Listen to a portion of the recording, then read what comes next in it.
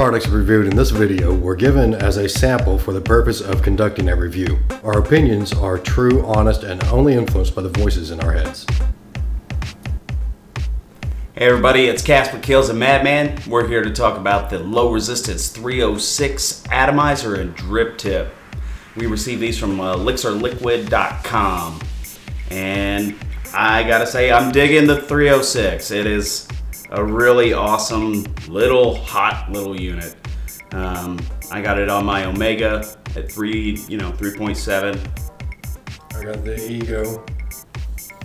It is a nice little unit. Um, it's very reminiscent of a cigarette in the way that it, in the way that you use it. You take shorter uh, pulls off of it, so and it gets hotter. So to me, it, it reminds me a lot of a cigarette. Um, you do have to keep it extra, you know, you got to pay attention, make sure you keep it wet. Um, if not, they will burn quickly.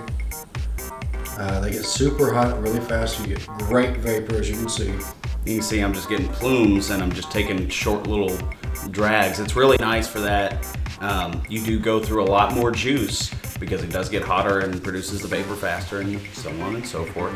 But, I mean, if that's what you're looking for in an atomizer, this is the way to go if you're using a 3.7. And on an Ego bat, your standard Ego bat, it makes a really, really small, compact unit.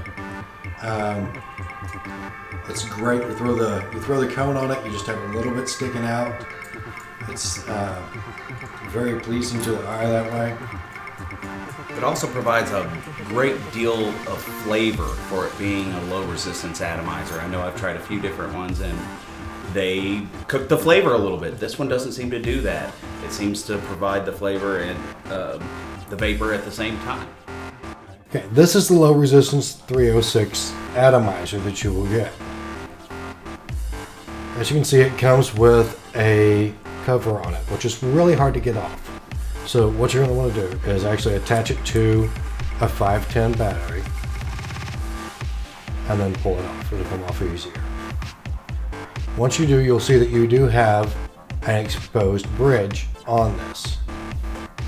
See see that. The actual atomizer is still down inside here. The coil itself is down in here.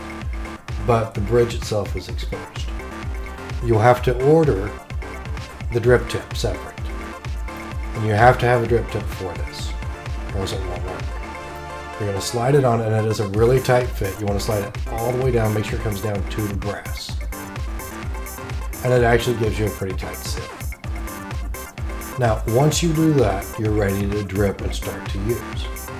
Uh, do know that if you do not keep it wet, you will burn your atomizer. We're going to show you a shot of this. This is one that we already destroyed by accident.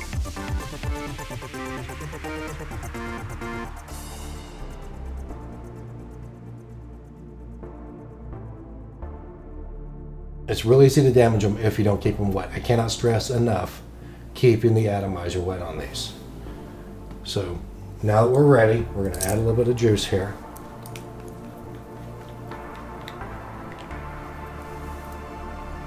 What's really nice is with these clear tips, you will actually be able to see the liquid pool. And then I always blow it down. And you'll see it come down and make contact with the bridge. And you'll be able to watch the bridge soak it up. So you'll be able to actually monitor how moist the bridge is. As you can see, it's down there. And give it just a minute and the bridge will soak that right up. Now let's go vape. If you don't mind the extra, the extra uh, juice you're going to use, that is cool. It is a good little device. Um, it took a little warming up on it for me. Like I said, it is. You do have to do more maintenance on it, you know, as far as making sure it stays wet. But all in all, it is it is a very good vape. Mmm. And you get it just great vapor.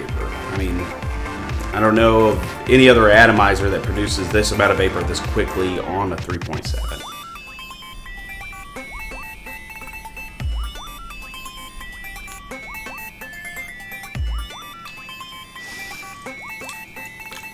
I really dig the 306 low resistance. Uh, if y'all want to go ahead and get some, click elixirliquid.com in the link below. Of course, uh, as always, vape on.